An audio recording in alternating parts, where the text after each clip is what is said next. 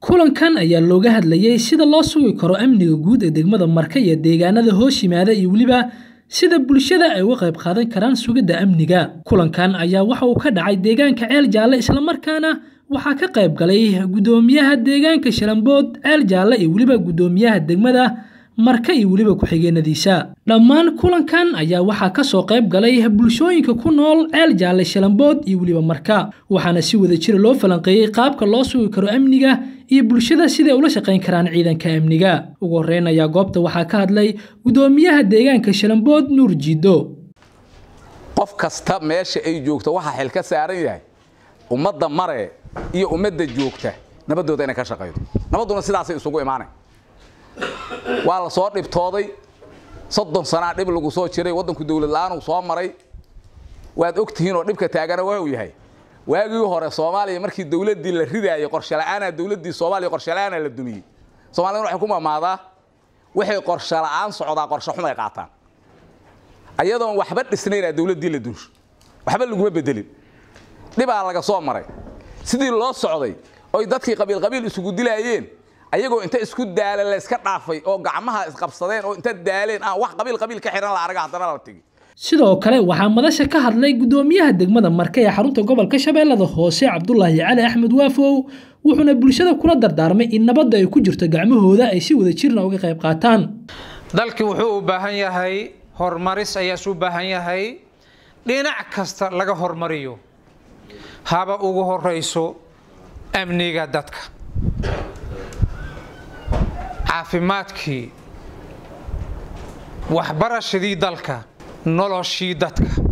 Dadku inay horumaraan ay horumar ku tillaabsadaan ayaan u baahannahay qof kasta qof kasta oo mas'uul ah guri leh.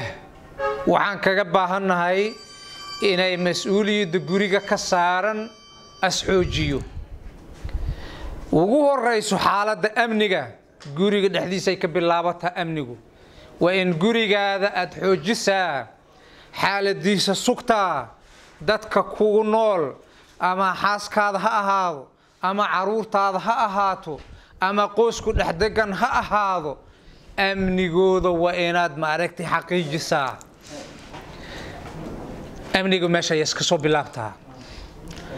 Caafimaadka waxaas ka soo bilaabtaa sidaasoo kale qoyskaas ka soo bilaabtaa gurigaas ka soo bilaabtaa qof kastoo mas'uul leh waxaad mas'uul ka tahay ka soo bilaab caafimaadkooda.